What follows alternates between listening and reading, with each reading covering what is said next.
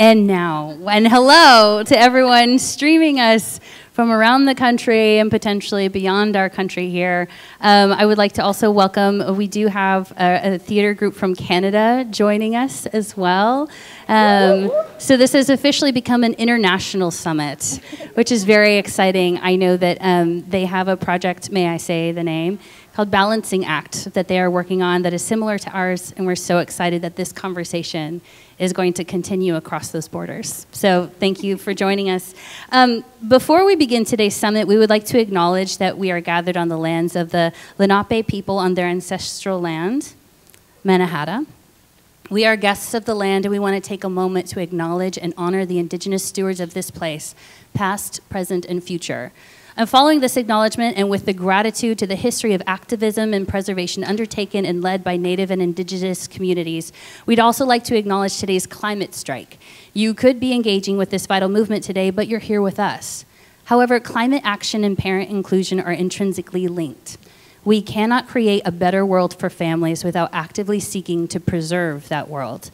We urge you to take a moment to reflect on your relationship to the land today and offer gratitude to those who are leading the movement for climate justice. So, a huge thank you to everyone who's out there today.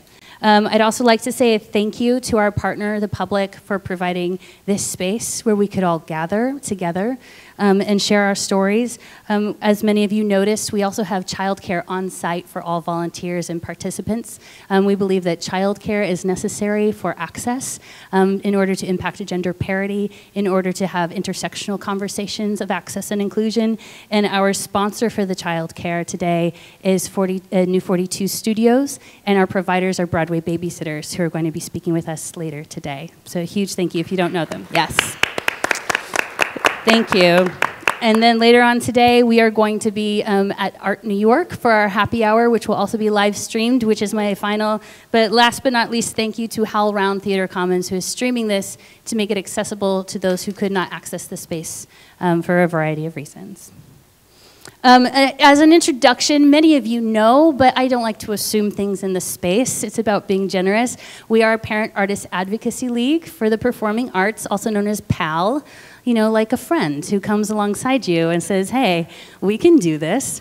Um, and our mission is to advocate for caregivers in the performing arts and the institutions who support them through serving as a resource hub, training provider, community home base, and solutions generator for best practice in caregiver support. And our goal, today's shared goal, that means everyone in this space, what we're joining together to do, is to engage in dialogue on replicable and sustainable solutions in order to elevate the national standard of care for caregivers in the arts by engaging with the institutions who support them. So today, we're going to hear a lot of stories of success.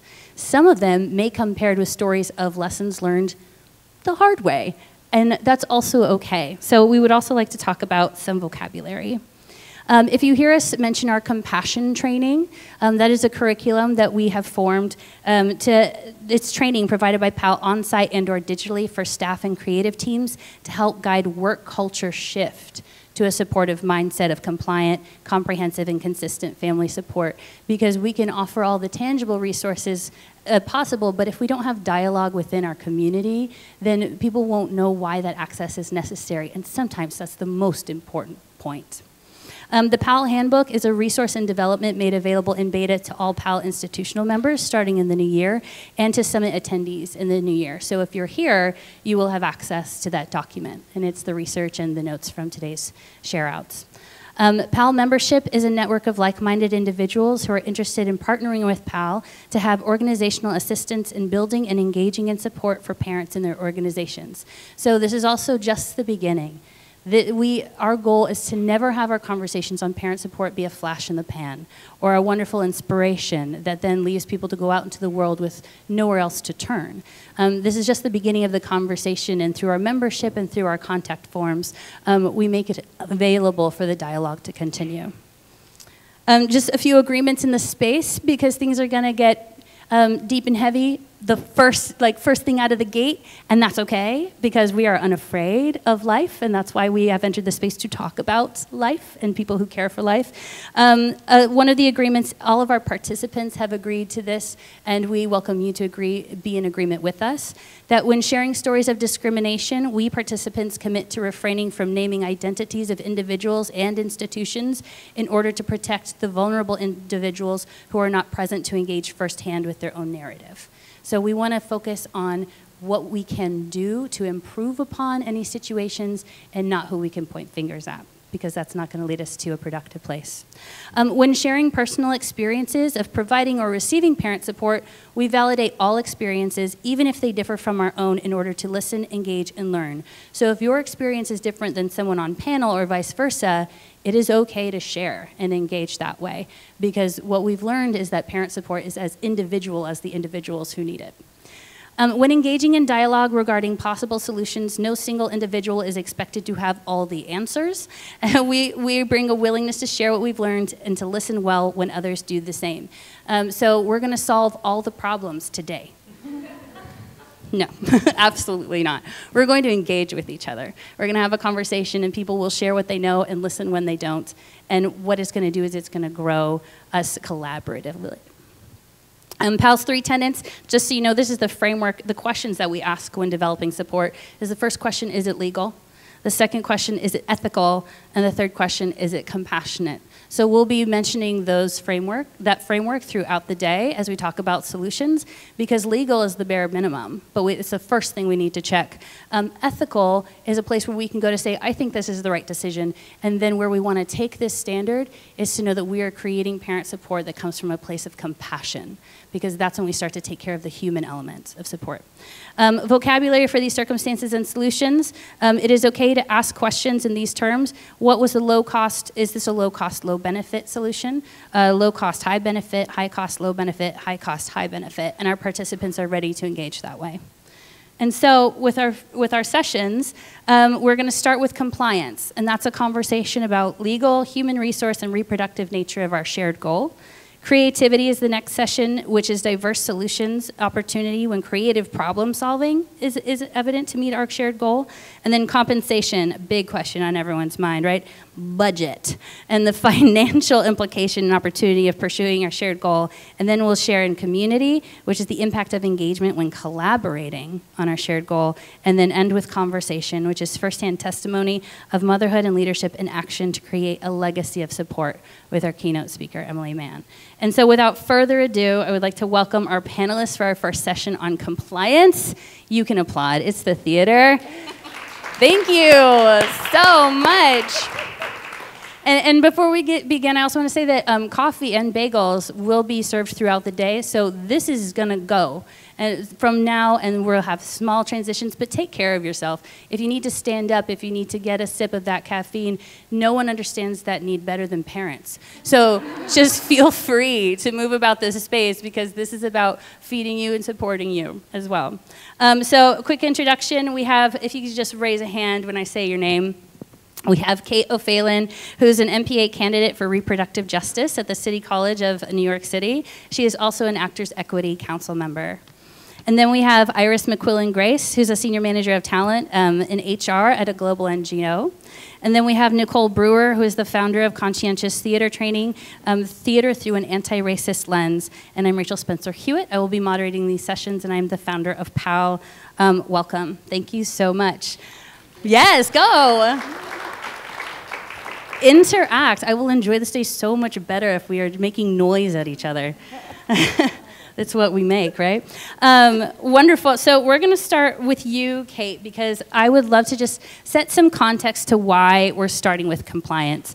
Um, ignore my pages. Why compliance is um, is where we should start in terms of uh, what were your experiences as a pregnant actor. So we can start with your personal circumstance. Okay. So. Um, I come to all this work from firsthand experience with navigating this industry as a person with two small children currently. Uh, I ran for office at Equity when I was pregnant with my first and re-ran when I was pregnant with my second. So I feel like those experiences and the growth of my children have kind of been inextricably linked. Um, So the first time I was pregnant, I had waited a long time because I was very scared of how it would affect my career. Um, and finally got brave enough to take the plunge. We were very lucky uh, to get pregnant, and then I went to go tell my representation. Uh, I was really nervous to approach that conversation, and I went in um, kind of framing it as like a what should I do now for the next almost year, right? So I was one of those, how I would describe working class actors who was lucky enough to have representation, but still got a lot of work booked for myself from going to EPAs all the time. In fact, that's how I got my card, a thing that I was really proud of. Um, so I did actually book work from going to these things. Most of my work on my own came from bringing myself out into open calls and, and meeting people that way. So I went into my representation and said, so I'm pregnant. uh, what do you think I should do about going to EPAs and open calls? And, and the answer that I got was, you should stop. You should stop. And I, I don't want to make it sound like I'm blaming them because honestly, the advice wasn't necessarily wrong in the, in the circumstances that we find ourselves in right now. Uh, I don't know if there's anyone in this room, myself included, who hasn't heard that someone in this industry was pregnant and thought about that person a little bit differently. I don't know if there's anyone here who can say that that never affected how they thought about that person because I for sure can't. Thought like, wow, I wonder what they're gonna do, or like, I wonder if they still wanna do that job they booked six months from now, or like, if that thought hasn't ever crossed someone's mind. So, I don't wanna sound like I'm blaming them because I'm totally not. But the result of that was that not only did I not work that whole year, but I didn't work the next year, right? Because we don't book work for, and sometimes we do, but a lot of times we're booking work for next year when we're doing that hustle this year. So what you end up with is people who every time they give birth are not working for a year or two years on the best, in the best case scenario, if, you're, if that's the advice that you're giving people. So um, my perspective as, an, as a, a leader at Equity has also come to include the fact that this is incredibly problematic for our health insurance coverage.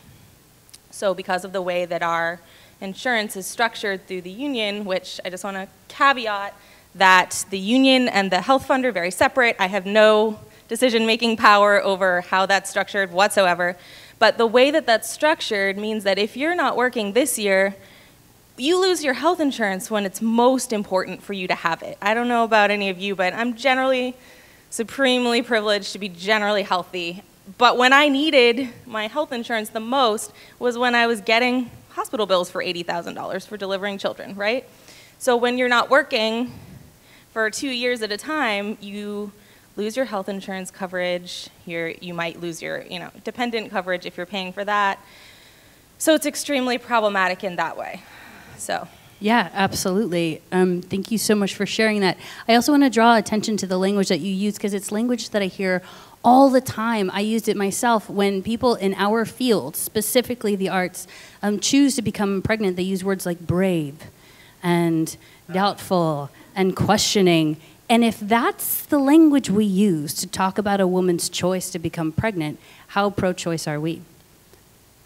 So, in that note, let's expand to reproductive justice. So let's let's take the scope outward now that now that we've made that content connection. And so now you're studying reproductive justice. Talk to me about how because I have full faith in the the performing arts field having the potential to be a leader in terms of liberal and progressive understanding of how we treat people. Mm-hmm. So in this understanding of like what happens to uh, how we treat pregnancy rights, why is that important that you've, uh, in terms that you've learned on a global scale? Right. So I decided to switch gears and change careers for a variety of reasons, one of which was this experience that I had and how really difficult it was. Um, the other was that I had a birth experience that was uh, really kind of horrific and left me with PTSD, and I felt like I needed to make some sense out of that. So I decided to go back to school to get my master's in public administration with a focus on reproductive justice. And one of the things that I learned pretty quickly off the bat is that is the difference between when we talk about pregnancy rights or like reproductive rights and reproductive justice. And so First, I want to say that the concept of reproductive justice is not new, but that it was um, sort of coalesced and named as such by black women in the 90s. So I want to give credit where that's due. Um, but the concept of justice versus choice, right? So we're talking about how we don't even necessarily have choice, but, but that's a very limited framework, right? So when we talk about choice, we talk about whether one can carry a pregnancy to term, whether one wants to, whether one can decide not to, all of those things. But that's not really enough. So justice is the idea that we need to have access to the things that make that, those choices possible. So like the access is really key. Choice is it's such a small part of the framework because we don't actually really have choice if we don't have access to the support that makes those choices possible. So reproductive justice comes from a human rights framework. It's based on the United Nations um, like human rights that they have enumerated that include the, the societal support for people who decide to have families. And they actually outline that in the Universal Declaration of Human Rights at the UN that like everyone deserves to have societal support when creating family. And that's really key, I think, when we think about any industry, that choice is not enough. We need justice, which means that we need to be able to choose whether to have children, we need to be able to choose whether we don't have children, and we need to be able to choose uh, whether we raise those children in a safe society, and, and everyone else around us needs to be providing the support for us to do so. So I think that's really key when thinking about these things. Absolutely, and, and I, I also want to um, connect language again, the societal support. We use the word community a lot in our field. Um, just in the last few weeks, you'd be amazed what I hear. In the last few weeks, I did hear a story of um, someone resisting this idea because the theater is not a daycare center. Um, but I have news for you no one wants you to watch their child. You're not their first choice. You are not qualified. Broadway Babysitters is. Um, but what we're asking for is this societal support. Um, I also know that the part of the problem with this word choice is that in our field, and you need to be aware of this so that if you see it happen to a coworker or you see it happen to someone you know, you can offer this language that sometimes choices used to throw back at someone why they don't deserve that support. Say, well, you chose to have this child. Mm-hmm. And that language is rooted in class, it's rooted in discrimination by race, it is so gendered um, that what you're saying is you had every single option and you made an option that nobody asked you to when it wasn't really anyone else's business. And so the conversation we want to have is if the UN thinks it's worthwhile to have a conversation about societal support for families, what is the theater going to do to translate that to communal support for families?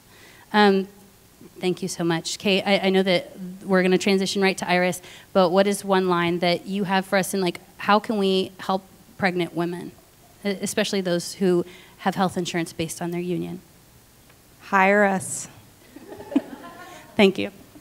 Um, awesome. So we're going to transition to um, Iris here. Um, what are the, I want to talk to you about now drawing it inside our theater community. Um, and what are the, the dangers that you've seen in terms of lacking HR education, human resource in terms of employee vulnerability? Okay. Um, how much time do we all have? This is, I think, maybe where to start. So, uh, just a little context on my background. I was a theater educator for seven years and then a performer before that. And uh, my husband is still a performer. And I transitioned to HR, and it was like a light went off. I was like walking in a dark room with everybody else, thinking I had very little advocacy for myself because these were the rules of engagement. These were the rules of the road, and you just followed along. And when I transitioned to, and I still work at a nonprofit, right? So it's not that different. It's not like I work at a bank, it's not like I work in corporate finance or a startup or anything like that. I'm still very similarly in the same kinds of conversation in terms of budgets, in terms of working with boards, donor support, etc. The light that turned on for me was the total lack of and we talk about education and how vulnerable that makes institutions because not always are they legally following the best practice and standard, but then we're certainly not following is it ethical and is it compassionate? And that would not fly, right? Uh, certainly not what I've seen now that I now that I work in this other space. And one of the things that I think leaves you vulnerable is this lack of understanding, right? So as an individual, I would encourage everyone to either through PAAL, and I should also say I am the managing director of PAAL, and so I have some skin in this game, but um, if that's not something that, for whatever reason, is an option for you to join either as an individual or as an, an, institution, we are, are not the creators of these federal and state laws, right? So you can find this information out um, through your own re research and either, you know, Google is your best friend then, right? But um, figure out the bare bones, what your rights are when you're interviewing when you are talking to your representation. And the other thing that I would say is after you start, or in, in parallel with this uh, individual research, document everything. Um, I know that's going to sound like such a really uh, cheesy HR phrase, but uh, track everything, right? Because if you do find yourselves on the other side of workplace discrimination, audition discrimination, any, anything where you feel like you have a viable complaint to bring to the EEOC, to an attorney, whatever, the first thing they're going to ask you is what is your evidence? And so you want to make sure if that means that you have to go so far as to create a separate Google account for yourself and a, a, Gmail account where you're just sending everything to, if that means that you find a way to just scan and save everything, email everything, right? Even if it's, well, we had this conversation, my, my supervisor in my office, and then it became a he said, she said situation. Write an email and say, I just want to reprise this conversation that we had to make sure that you and I are both on the same page about it. Track everything. I appreciate that sounds a little paranoid, but worst case scenario, you've got a, a, a Gmail account full of stuff you're never going to use. So that's from an individual standpoint. From an institutional standpoint, I think it does become a risk because not every organization has the luxury of a dedicated HR person. Typically, or more often than not, and I will not speak for every organization, I mean, there are ones that do, but it's often an office manager, a general manager, a company manager. And while they are doing, I'm sure their level best, they are not subject uh, matter experts. Neither are they often employment lawyers. Are they SHRM certified? Are they, have they taken a, a, an HR course, period, let alone worked as a dedicated HR professional? No, oftentimes they're serving as like mini COOs. And so they're dealing with budgets and they're dealing with a, a, litany of other things that in the moment feel much more important, but do leave you for risk. And if you have and are encouraging a staff to become aware of what their, their rights and their agency can, can look like, then you even more so open yourselves up, right? Um, and I do also want to say that once you start this conversation and this dialogue, it can become very attractive to donors. It can become very attractive to getting grants. USAID AID funding becomes available in a way that it wasn't before. I mean, this can be something you can raise to your board to say, this is money on the table, and it's ethical, and it's compassionate, and it raises the national standard, right? That's how we're getting, like, the Ford Foundation to come and play with us, and they were not interested in us before, right? So you can turn that actually into a positive. That risk then becomes a strength or an opportunity. Fantastic. That's a great. So, um, uh, also uh, for those listening at home, if you want to engage with this conversation, we're on Twitter at PAAL Theater with an RE. Um, and there are hashtags Summit19. I just wanted to make sure that those of you watching feel like you can dialogue with us as well, because this is so important. Um, in terms of creating solutions, just so you all know, um, Iris has come on as managing director for PAAL because our goal is to create digital resources for this training for institutions who cannot afford an HR representative or who do not have an opportunity to apply for grants. So that what you can do is you can log into the, the PAAL database and have HR videos, training videos that you can watch with your staff. This is important um, because that means that you're going to help impact gender parity simply by your education. And that's wonderful. And so, with that, I would love to um, engage with our friend Nicole um, who recently wrote a piece for HowlRound, um, which I think is groundbreaking. Um, and uh, so, Nicole, I would love for you to start us off with talking about um, where you see the intersection between uh, parenting access and developing anti racist theater practice. Um, well, I think, uh, like I said in the article, I was published earlier this week, that the theatrical industrial complex is overwhelmingly racist. Um, and so, if that's the standard and that's the norm, then the lens in which um, decisions are being made need to be funneled through an anti racist lens, right? Um, and it's a small action within oneself.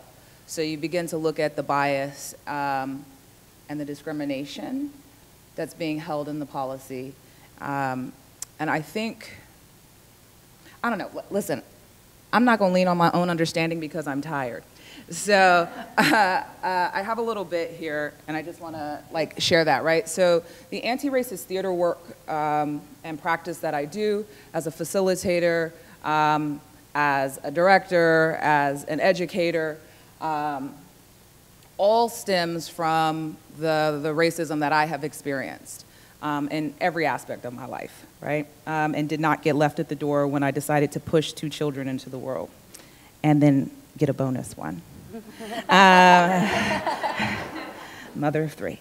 Okay, um, so anti racist theater is defined as practices and policies that actively acknowledge and interrogate racism, generating dynamic anti racist ideas, values, and policies that counter the oppression of any people in any aspect of education and production, right? Um, so that part becomes really, really important. So, what is your organization's anti racist theater ethos. And if you're not doing theater, what is your anti racist ethos? And what is your personal anti racist ethos?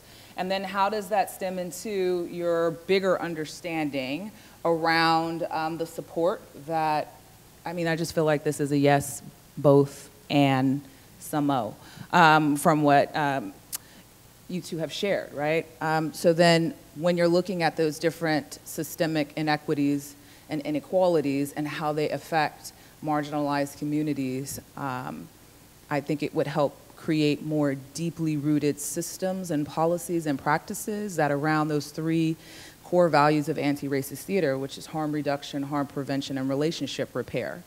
Um, so when you're looking at your policies in that way too, like um, how that ties back in. Yeah, Absolutely.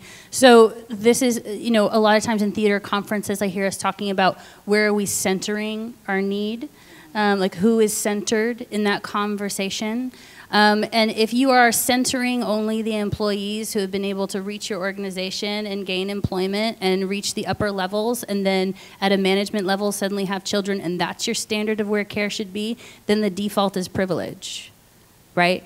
And so this this request, like this training, is so necessary. What you're what you're doing, because I, I read an earlier piece from Nicole, and it just gave such um, such structure to how we should be centering need. And we should be centering need on the people who need it most who have not reached us yet, right? Because if we take care of them, then the people in our organization will also be taken care of, but it cannot work in the reverse. Um, I also want to um, just, just say like the connection between these three women is also that we don't make theater in a vacuum. People come to us um, engaging with socioeconomical realities that make work for our organizations possible or not.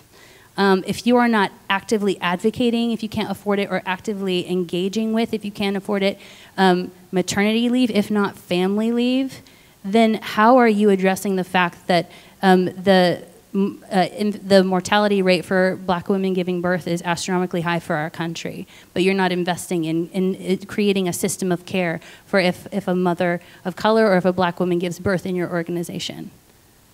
So she's not cared for in society and she's not cared for in, in between your walls.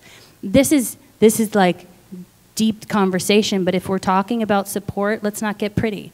Let's talk about how are we really creating change. Um, Rachel, yeah, can I just please. say something in that Yeah. too? That in terms of like uh, the pregnancy itself and uh, uh, addressing the environment that that worker is asked to be in while they are building spines and lungs and you know eyes and things.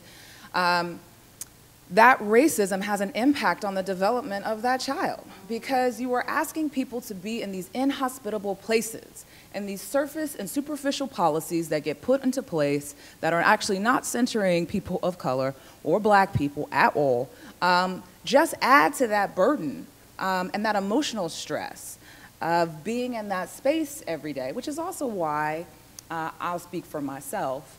Um, I don't want to bring my children into many spaces that have these quote unquote child friendly policies because I'm in these spaces dealing with racism all the time. And then people were like, oh, was that your experience? We're so sorry, right? But the sorry does not mitigate the actual health issue that I have to then hold in constriction. And so, you know, there's also that dealing with that anti-racist theater practice comes into play around your organizational culture. You can't just be thinking about the kids once they're there, or you can't be thinking about those needs once they're like present for you. Um, those microaggressions, they add up on a daily basis. And who knows in terms of documentation how many miscarriages that may have provided within this community or harder pregnancies that that may have um, provided as, because of racism as a factor, right? I'm awake now. and we're all better for it. Thank you. Um, I, I, also let, let me let's let's help make that connection now. Like this, this is what we need to carry in our bellies with us into our organizations and into our walls. Sometimes there's a translation that needs to happen. Like, let's say let's take what she's saying. So she's saying, I do not feel comfortable. Let's hear her story. I do not feel comfortable entering these spaces. Why would I bring my children? And let's connect that. It sounds eerily similar to the question all of our audience engagement professionals are asking, which is, how do we get more diverse audiences into our spaces? Maybe it has to do with the fact that we're not centering our inclusive structures internally on the right people. I would just offer that into the room as maybe community engagement improves, and that's a translation you can use to the rest of your organization when we start to take care of the people internally in a way that's recentered. Um, we are doing this in every session now. We are going to close off the live feed for a closed Q&A. We are coming back, everyone, for the next session to live stream. We want to give everyone in the space, the room, a safe place to engage with these conversations. Um, so thank you so much. Uh, Jose, let me know when we're